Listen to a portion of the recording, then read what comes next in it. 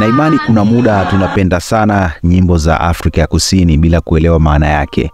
Kwa mara ya kwanza Chris Brown ameelewa nini ambacho anakiimba mtoto anayefahamika kama Naledi Afiwe, na Chris amekuwa ni mfano bora wa kuigwa duniani.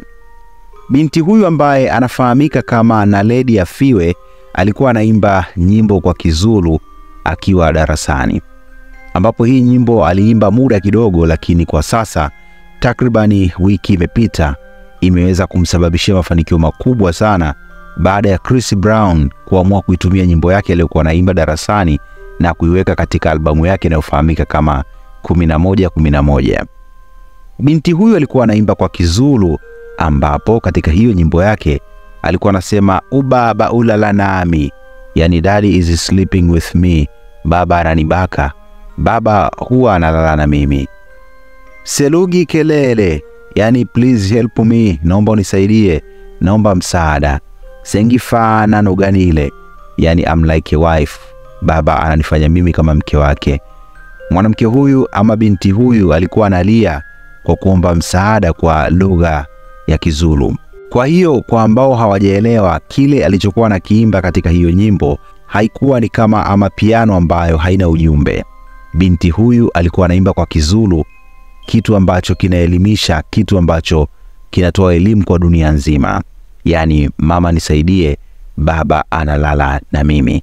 Huyu ni Naledi Afiwe, binti mdogo sana kutokea Afrika ya Kusini, binti ambaye kaimba wimbo ambao hakutarajia kama utampa matokeo makubwa katika maisha yake. Wimbo huu aliuimba kwa mara ya kwanza akiwa darasani, hakutegemea atampata makubwa, kwa sababu dunia ya leo wana entertain ama wanapendelea vitu ambavyo havina msingi, na vitu ambavyo vina msingi basi wanaviweka pembeni. Kwa mara ya kwanza binti huyu ameangukiwa na bahati ya kipekee kutoka kwa msanii mkubwa duniani anayefahamika kama Chris Brown. Chris hajapenda tu alichokuwa na kimba huyu binti, bali amependa ujumbe aliyokuwa na uimba huyu binti katika nyimbo yake. Binti alikuwa analalamika, anaomba msaada kwa vitendo ambavyo wanafanyiwa watoto na wanakosa msaada.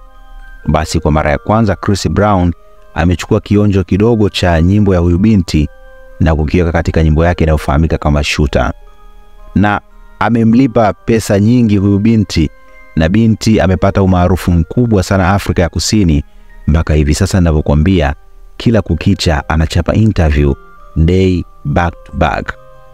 Hii imekuwa na mafanikio makubwa sana katika muziki wake, na imani hata wewe ukisikiliza nyimbo aliyoimba na Ledi utapata tu hisia kwamba anaimba Kiafrika ya Kusini huko Kizulu, kitu ambacho hata akina vibe akina ujumbe wote ule, lakini ujumbe ambao alikuwa anaufikisha kwa jamii ni kwamba naomba msaada, baba ananibaka, baba ananifanya mimi kama mke wake, jamani, naombeni nisaidie. Kwa wale wote ambao wanakumbana na matatizo ya unyanyasaji wa kijinsia, unyanyasaji wa watoto, basi wasiliana nami kupitia nambari ya simu 06 72 30 80 60. Tutajaribu kufikia huko uliko na utuambie nini hasa tatizo ambalo linakukumba. Ukisikia kuna mtu anamnyanyasa mtoto wake, ukisikia kuna mtu anamfanyia mtu unyanyasaji wa kijinsia, usisite kunipigia kupitia nambari ya simu hiyo na uniambie ni wapi, tuweze kuja na tujue kwamba nini ambacho anafanyiwa. Basi wimbo huu ni wimbo ambao wa kipekee sana, wenye kuelimisha, wenye dhana ya kutoa elimu katika jamii. Ubaba ulala nami, yani baba analala na mimi.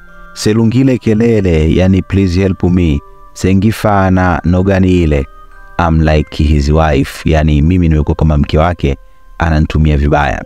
Basi na imani kupitia hili utakuwa umeelewa nini ambacho Chris Brown amekipenda katika nyimbo ya huyu binti na kuamua kwa mara ya kwanza kuchukua kipande chake kidogo na kukiweka katika nyimbo yake mpya ambayo ipo katika albamu ya 11 11 inayofahamika kama Shooter. Karibu sana, hii inaitwa Bongo Star Media. Usitoke, endelea kufuatilia kila siku hapa hapa, tutakupa habari zote zenye kuelimisha bila kusahau makala ambazo zimeshiba. Hii ni Bongo Star Media.